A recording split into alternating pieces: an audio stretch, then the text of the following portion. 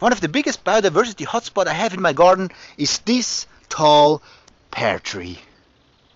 Once there were more of these tall pear trees than there were humans in Switzerland.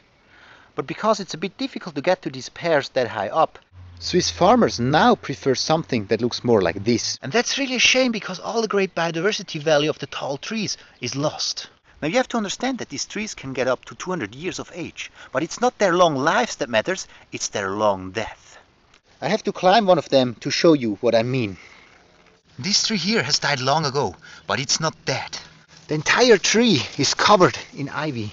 And this ivy provides a multi-layered structure that grows over the entire tree.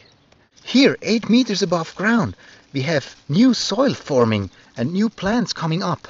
And this provides for a rich feeding ground for birds and insects. So just because something is not economically feasible anymore doesn't mean that it has not a great value for nature.